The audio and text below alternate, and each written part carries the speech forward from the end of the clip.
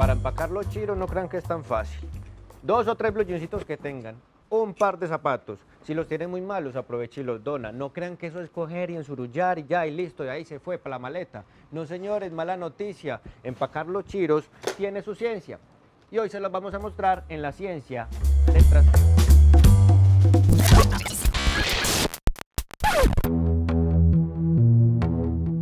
¿Cómo empaco la ropa?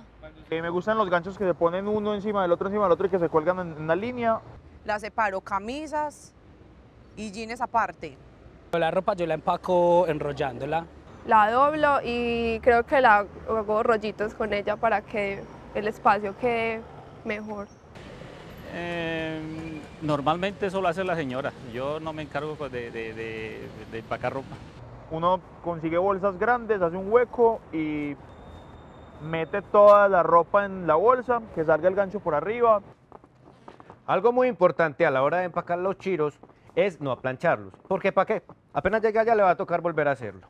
Un secreto es enrollar bien cuidadosamente cada una de las prendas e irlas metiendo organizaditas en la maleta. Eso no es a la loca. Vamos a ver si esos bichos de laboratorio que tenemos en Telemedellín tienen alguna cosita para empacar. Doña, doña, doña. Es el programa. ¡Ay, hola!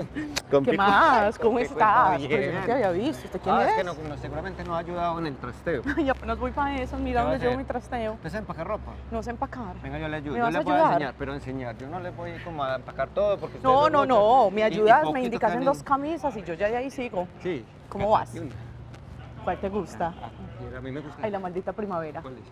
Sí. Para Para enamorarme, enamorarme ahora. La, la la primavera. primavera. Ay, es la cara de trasteo que tienen acá. Ángela. Salazar, yo sabía que no ibas a poder, pero Oiga. les traje salvación. Miren a lo que me encontré. ¿Cómo van? Vea, él es el señor que nos va a ayudar con el trasteo. El Hey. señor del trasteo. El de calle arcoíris. ¿Usted cómo empaca toda esa lentejuela? Que ustedes cómo ¿Usted la ha van. visto? 18, 14, 21. 4 a los 18, mucho gusto. 4 a los 10. Va, para doblar una camisa es muy sencillo. Y Elemental, cógele la medida, cógele la medida. Por decir, tanta ciencia tiene una camisa. En la etiqueta. Sí. Yo no las veo. Pero ¿Sí entonces usted ve la instrucción aquí de lavado, no de doblado. Entonces, seguimos en Entonces, las 48.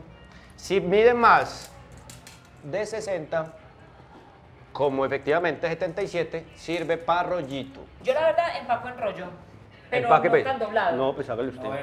Ya que sabe tanto. No, pero hágale, hágale, yo, yo le voy supervisando. Es que aquí pagas muy mal. Aquí Ay, no, pero sin pulir, sin pulir tanto, porque para llegar No, no, a no, doblar no, eso. ¿cómo van a llevar eso así como a la, a la guachapandreca? No. Y no, Por muchachos, favor. yo, que de verdad, qué rico, pero qué rico hago. Yo tengo, un... Y hola. ¿Y usted? Ya. Vamos Yo la una, eche esa que yo ya, mira, yo ya empaqué esa. Ese van otra. Por eso, por eso es que es bueno, por eso es que es bueno.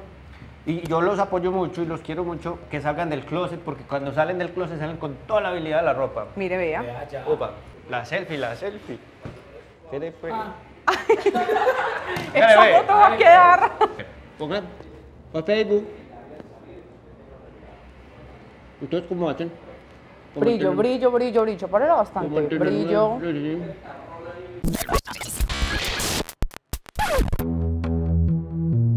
El Canal Parque, desde su creación, ha sido pensado en un espacio para que toda la ciudad pueda ir y disfrutar de él. Canal Parque Gabriel García Márquez, que es la nueva sede de Telemedellín, que es donde nos vamos a pasar, queda en la Comuna 14. La Comuna 14 es la Comuna El Poblado. Que antes del Parque del Poblado y que antes de los barrios Castropol, Manila y el barrio Colombia.